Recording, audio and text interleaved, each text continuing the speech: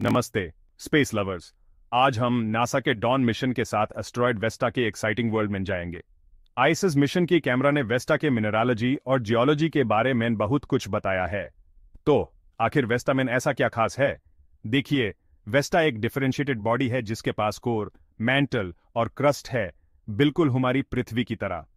यह structure Vesta को early solar system का एक टाइम कैप्सूल बनाती है, जिससे ह्यूमन प्लैनेट्स कैसे बने यह समझने में मदद मिलती है। एक और इंटरेस्टिंग बात यह है कि वेस्टा का कनेक्शन एच मीटियोराइट्स से है हवर्डाइटे यूक्राइट और डायोजेनाइट साइंटिस्ट का माना है कि ये रॉकी मीटियोराइट्स वेस्टा के ही टुकड़े हैं, जिसे हमें डॉन स्पेसक्राफ्ट से मिले डेटा को समझने में मदद मिलती है।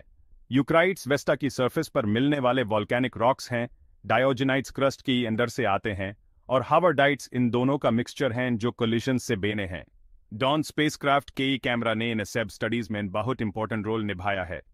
अपने सेवन कलर फिल्टर्स के साथ, ये कैमरा विजिबल और नियर इंफ्रारेड लाइट, मैन वेस्टा की सरफेस की डिटेल्ड इमेजेस कैप्चर कर सकता है। लिथोलॉजिकल मैपिंग से पता चला है कि वेस्टा की सरफेस ज़्यादातर हवरदेट से बनी हुई है, जिसे यह पता चलता है कि कोलिजन्स की वजह से रॉक्स काफ़ी मिक्स हो गए होंगे। लेकिन कुछ रीजन्स ऐसे भी हैं जहाँ ज़्यादा डायोजेनाइट्स हैं, खासकर साउदर्न हेमिस्फीयर में। अब बात करते हैं रिया सिल्विया और वेनेनिया बेसिन्स की। ये साउदर्न हेमिस्फीयर में बेन हुए मैसिव इंपैक्ट क्रेटर्स हैं, जिन्होंने वेस्टा के क्रस्ट के अंदर के डायोजेनाइट रिच लेयर्स को एक्सपोज कर दिया है।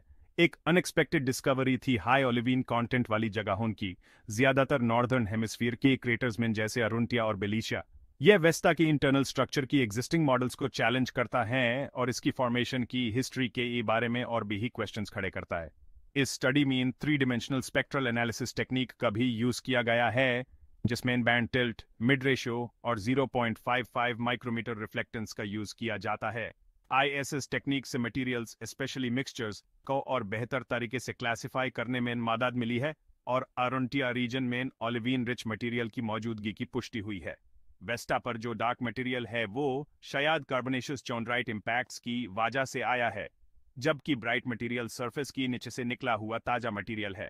अरंटिया क्रेटर में इम्पैक्ट मेल्ट की फीचर्स भी देखे गए हैं, जिसे वेस्टा की जियोलॉजिकल कम्प्लेक्सिटी और भी उभर कर आती है। इन शॉर्ट, वेस्टा की सरफेस कंपोजिशन और जियोलॉजी हमारी उम्मीद से कहीं ज़्यादा कम्प्लेक्स निकली। ओलिवीन की अनएक्सपेक्टेड लोकेशन एग्जिस्टिंग मॉडल्स को चैलेंज करती है और three dimensional spectral analysis human planetary surfaces study करने के लिए एक पावरफुल टूल डेटा है। स्पेस एक्सप्लोरेशन के बारे में और जाना चाहते हैं तो हमसे जुड़े रहिए और स्टार्स को देखते रहिए। हमारे चैनल जियो वॉइसेस में आपका स्वागत है, जहाँ आपको भूविज्ञान भूरसायन संरचनात्मक विश्लेषण और पृथ्वी विज्ञान में कृत्रिम बुद्धिमत्ता के अनुप्रयोग के बारे में कई वीडियो मिलेंगे। कृपया लाइक और सब्सक्राइब करें और अधिसूचना घंटी पर क्लिक करना न भूलें। प्रश्न मुझे नीचे एक टिप्पणी छोड़े।